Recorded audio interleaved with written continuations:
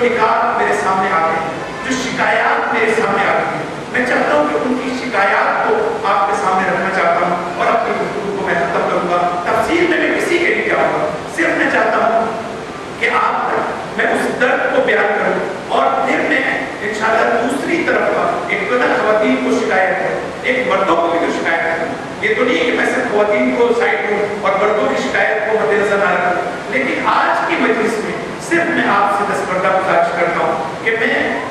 مردوں کی طرف سے بات نہیں کر رہا، میں خواتین کی طرف سے بات کر رہا ہوں۔ لیکن نیکسٹ ٹائم جب مجھے آپ نے شرف عزت بخشا، تو میں چاہوں گا کہ دونوں طرف سے بتاؤں کہ مردوں کے لیے بھی کی پرابلمس عورتوں سے جو شکایات ہیں، وہ بھی ضروری ہیں اس کو مد نظر رکھیں۔ اور دونوں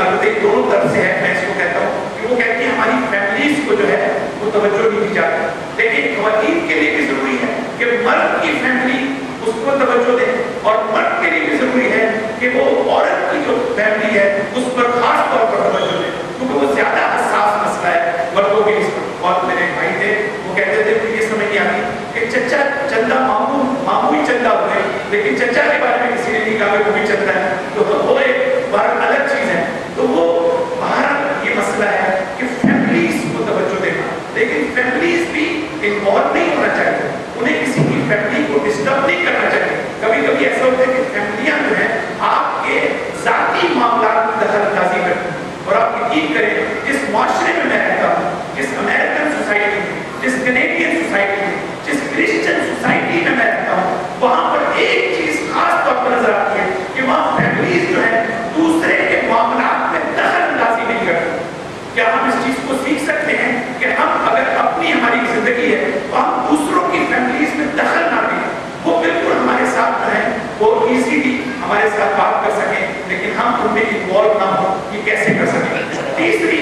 ہے کہ اب آپ دیکھیں کہ اس کے اندر یہ ہے کہ امپورٹنٹ ڈیسیجن جو ہے وہ یہ کہتی ہے کہ جو ہماری گھر کے امپورٹنٹ فیصلے ہوتے ہیں، اس میں ہمیں شامل نہیں کیا جاتا۔ اب یہ لیکن میں خود بھی اپنی زندگی میں ان چیزوں سے سیکھتا ہوں اور میں صرف آپ کی بات نہیں کر رہا ہوں، میں ان چیزوں سے سیکھ کر اس کو اہمیت دیتا ہوں کہ ہم اپنی گھر کی جو خاتون ہے، اس کو اپنے فیصلوں میں شریک کریں۔ یہ نہیں کہ ہم اتھارٹیٹیولی ہم ایک فیصلہ سنا دیں کہ ہم نے یہ فیصلہ کر لیا۔ تو اس کا مطلب یہ ہوا، آپ دیکھیں قرآن مجید میں ایک بڑی عجیب آیت ہے۔ قرآن میں اللہ تعالیٰ یہ کہتا ہے کہ وہ شابر ہو بے امر فی الحمد رسول کو خطاب رسول، ان لوگوں سے مشورہ کرو۔ اپنے صحابوں، صحابیوں سے مشورہ کرو۔ میں آپ سے سوال کرتا ہوں کہ کیا رسول کی دل میں کوئی کمی نہ ہو سکتا کیا رسول کو کسی مشورے کی ضرورت ہے جس جو کائنات کا رسول ہے جو ترین انسان ہے اس کو اللہ کہہ رہے ہیں مشورہ کرو مشورہ کیوں کرو اس لیے نہیں کہ وہ تمہیں کوئی بہتر رائے دے دیں گے اس لیے کہ انہیں یہ محسوس ہوگا کہ ان کو اہمیت دی جا رہی ہے ان کو یہ محسوس ہوگا کہ ان کو اٹینشن دی جا رہی ہے اس کا مطلب یہ ہوا کہ اہمیت دینا اٹینشن دینا باوجود اس کے کہ آپ کو پتہ ہے کہ آپ فیصلہ کر سکتے ہیں لیکن دوسرے کو اہمیت دینا دوسرے کو سپورٹ کرنا دوسرے کو اٹینشن دینا اس کا مطلب ہے ڈیسیجن میں شامل کرنا اس کا مطلب یہ ہوا کہ یہ چیز جو ہے ہمارے سامنے ہے پھر یہ ہے کہ سب کی شکایت ہے خواتین کہ sufficient money pocket pocket money وہ ان کو نہیں دی جاتی۔ تو اگر یہ کہیں پہ ہمارا ایشو ہے کہ خواتین کو جو ہے وہ پاکٹ منی صحیح طرح سے دی جائے، ابھی بہت سی باتیں اس میں کرنے والی، میں اس میں نہیں کروں گا۔ لیکن جن کی وائف جو ہے وہ جاب کرتی ہیں، کم سے کم یہ ہے کہ اس میں انہیں پریشانی نہیں ہے۔ بہت سی چیزوں میں اپنا خرچہ وہ اٹھا لیتی ہیں۔ لیکن جو خواتین واقع گھر میں ہیں، میں نے دیکھا ایسے کیسز ہیں کہ جو چھوٹی چھوٹی چیزوں کو ترستی رہتی اور ہمارے لوگ جو ہیں، اس کو اہمیت نہیں دیتے اور جس کی وجہ سے فیملی میں وہ محبت اور محبت دونوں چیزیں موجود نہیں ہوتی۔ محبت کا مطلب ہی یہ ہے کہ محبت سے اگلا مرحلہ اظہار محبت کا۔ محبت اہل بیت بھی اظہار محبت کا صرف محبت کرنا نہیں ہے، اس محبت کا اظہار بھی ضروری ہے۔ فیملیز کے اندر بھی محبت کا اظہار بھی ضروری ہے۔ صرف یہ نہیں کہ ہم اس بات کی طرف اشارہ کریں۔ اسی طرح ایک کوشچن بہت زیادہ ہے کہ شکایت یہ ہے کہ جو اپنے دوستوں میں وقت زیادہ گزارتے دوسرے کاموں میں فیملی کو وقت نہیں دیتے اور بچوں کو وقت نہیں دیتے۔ اور میں اس کو واقعی سیریسلی میں نے اس کو خود آبزرو کیا ہے کہ ضروری ہے ہمارے لیے کہ ہم اپنے بچوں کو اور اپنی فیملی کو ان کو پراپر وقت دیں اور ان کو اہمیت دیں۔ جس طرح سے اور کئی اس وقت ہزاروں خواتین جو شکایت کرتی ہیں کہ ہمارے جو شوہر ہیں دیکھتے ہیں تو صبح سے شام تک ٹی وی دیکھتے رہتے ہیں۔ دوستوں میں جاتے ہیں تو ان کو گھر کے خیال نہیں رکھتا تو ہماری لائف کا بیلنس ہونا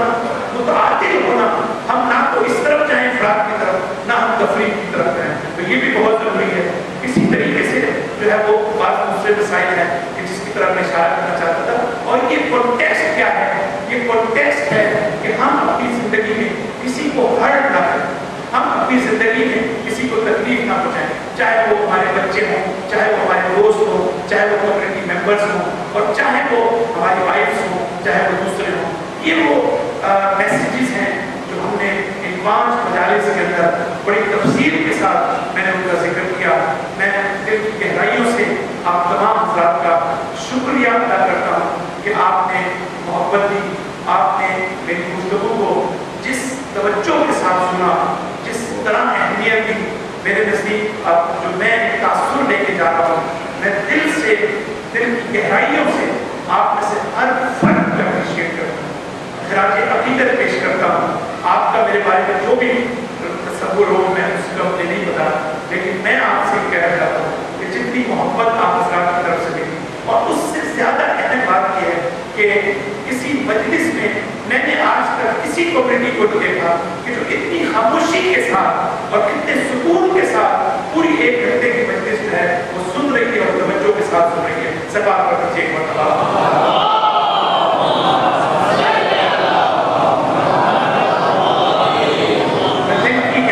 آپ تمام حضرات کے لیے یہ دعا کرتا ہوں کہ اللہ تعالیٰ آپ کو ہر زندگی کے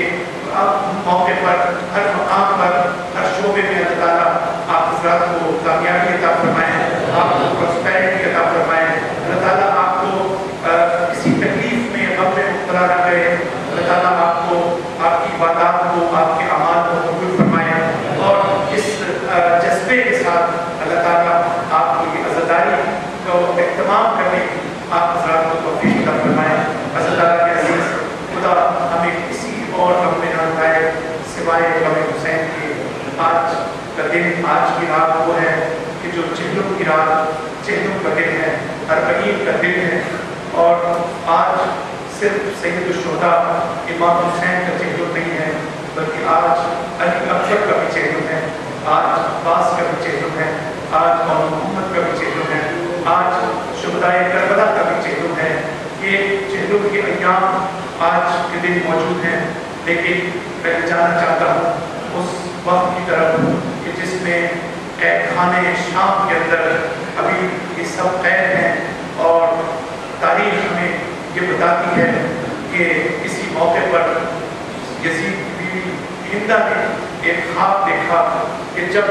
کون سا موقع ہے تو موقع یہ ہے کہ یہ تمام عظیم ہستیاں یہ بیویاں، امام سجاد، اس خراب شام میں ہیں، کون سا خراب شام؟ ہمارے چوتھے امام یہ کہتے ہیں کہ جہاں نہ گرمی سے بچاؤ کا کوئی راستہ تھا، نہ نہ سردی سے بچاؤ کا کوئی راستہ تھا، اور جس وقت ننے ننے بچے روتے تھے تو مائیں بچوں کے منہ پر ہاتھ رکھ دیتی تھی اور یہ کہتی تھی بچوں تمہارے رونے سے کہیں زینب اور ان میں کلثوم کو تکلیف نہ پہنچے۔ مزداروں بس یہ وہ قید تنہائی تھی، یہ وہ قید خانہ شام تھا کہ جہاں پر بچے ماؤں سے پوچھتے تھے کہ کیا کبھی یہاں دل نہیں نکلتا؟ کیا ہمیشہ کبھی رات رہتی ہے؟ یہ وہ قید خانہ شام ہے کہ جہاں پر سکینہ نے اپنے بابا کے سر کو محبت سے پیار کیا اور کہا کہ بابا کاش میں ان کو باہر بچا دیا اپنے بابا کاش میرے آنکھوں کی بینائی ختم ہو جاتی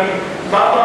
میں کاش میں پیبندے خاک ہو جاتی لیکن بابا میں آپ کے محاسن کو پور میں رنگین نہ دیکھتی عزدارو یزید کی بیوی ہندہ نے کہتی ہے کہ میں نے عالم خواب میں دیکھا ایک ہماری ہے جو اتر رہی ہے اور اس میں سے چند خواتین اترتی ہیں۔ اس میں ایک خود پوش میرے پاس آتی ہے اور دوسری بیوی نے اس کو سہارا دے رکھا ہے اور بیوی مجھے کہتی ہے اے ہندہ، میرے بیٹے